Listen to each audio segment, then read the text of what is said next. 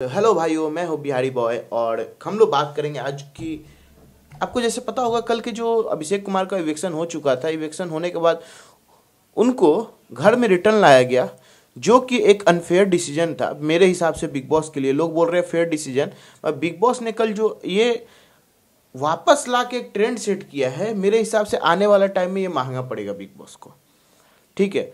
No doubt अभिषेक के साथ गलत हुआ, मगर उसने जो किया थप्पड़ मार के, वो एक गलत था। मतलब बिग बॉस में आप जिसके साथ गलत होगा, आप थप्पड़ मारो। कहने का मतलब यही है। आप भी थप्पड़ मार दो, आप भी थप्पड़ मार दो। जिसका मन में आया थप्पड़ मार दो, उसके बाद क्या? तो आपके साथ गलत हुआ। ये भी चीज़ एक सोचने वाली बात है। ठीक है, हम लोग फ़ैन हैं, हम लोग ये हैं, वो हैं।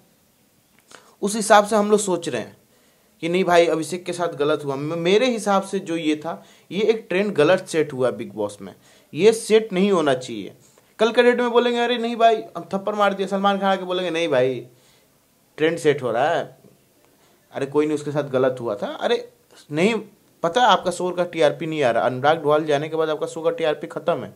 मगर आप ऐसे ऐसे डिसीज़न ले रहे हैं, जो कोई सीज़न में डिसीज़न ही नहीं हुआ है।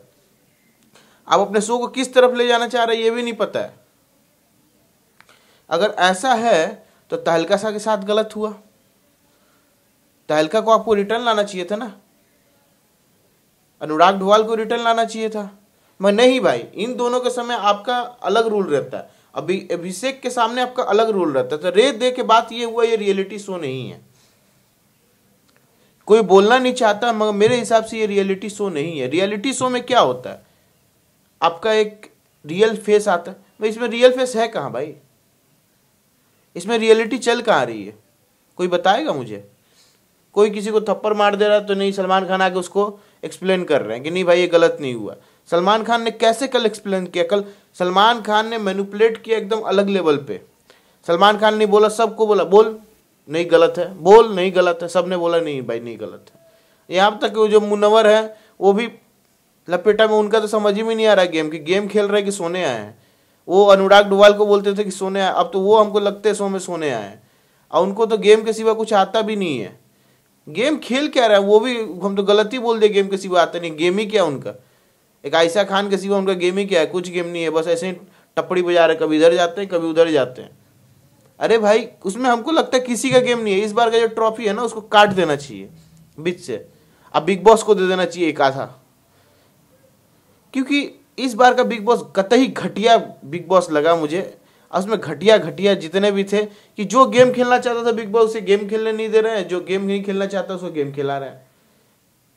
मनाड़ा गेम गेम खेलने आता नहीं इसको ज़बरदस्ती लगे पड़े कि भाई खेलो खेलो खेलो, कहाँ से खेल लो भाई, जब खेलना ही नहीं आता है तो। अजब इस बार का बिग बॉस बना पड़ा है।